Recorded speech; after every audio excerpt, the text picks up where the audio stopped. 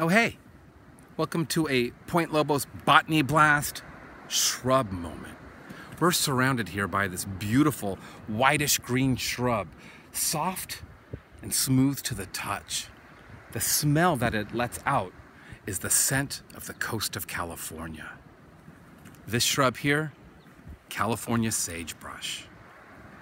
And if there's ever a great reason to learn Latin plant names, it's the California sagebrush. Its Latin name, Artemisia californica. What a beautiful name. It grows throughout our coastal areas in the, in the southern two thirds of our state, more or less. And when it does bloom, it has inconspicuous golden flowers, and they happen late summer, early fall.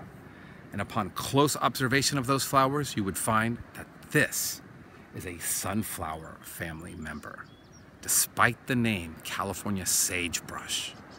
Those of you dusting off your botany brains know that sage is part of the mint family.